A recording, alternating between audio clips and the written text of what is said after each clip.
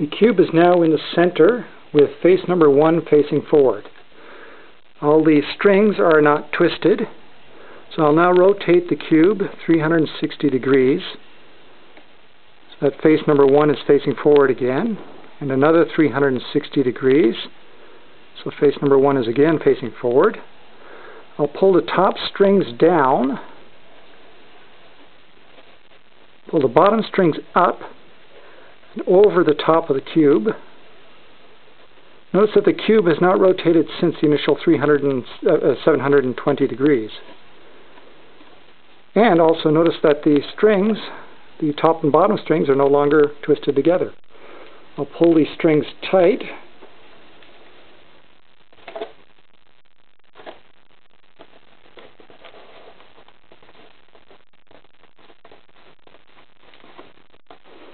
You can see the top strings are no longer twisted.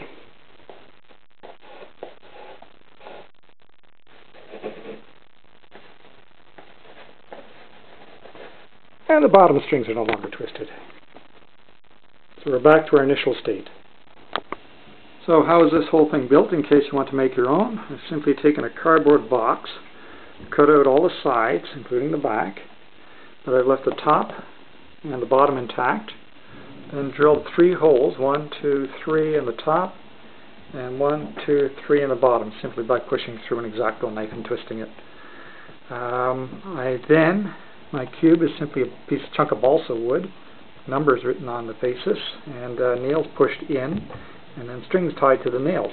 Those strings are then pushed up through the holes. So one string, two strings, and three strings.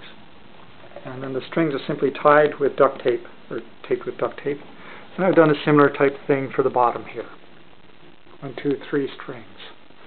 So to compress space, I simply pull on the string. To uncompress it, I release the spring. Uh, seems a little bit easier than using elastic bands. Elastic bands get twisted and then tight and might be hard to work with. This, this worked well.